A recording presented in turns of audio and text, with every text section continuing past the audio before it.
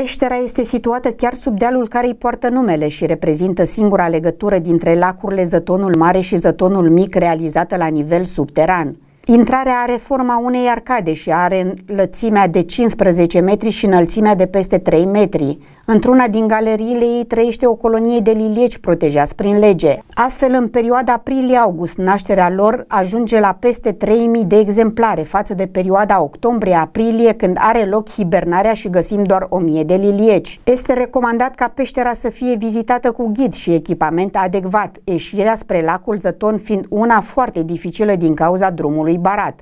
Coborârea este una alunecoasă, pentru că apa picură mereu din tavan și peștera este inundată în momentul în care apele zătonului cresc. Peștera Ponoarele din comun al cărui nume îl poartă este una dintre cele mai deosebite obiective turistice naturale din județul Mehedinți. Are o lungime de 734 de metri și este formată în urma drenajului făcut de apele Zătonului. Peștera Ponoarele, făcut de apele Zătonului.